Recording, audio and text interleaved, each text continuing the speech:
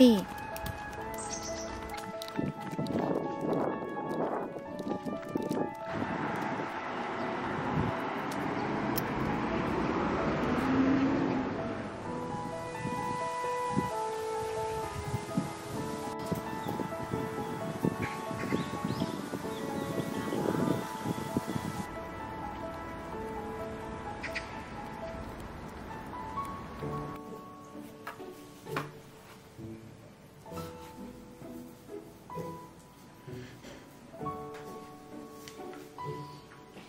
됐어.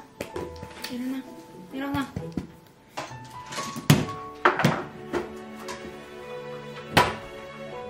야, 침 흘리지 마.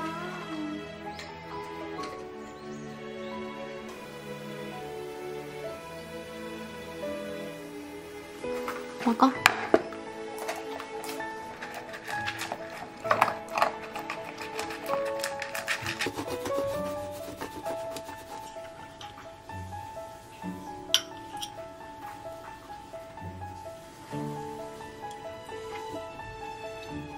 た。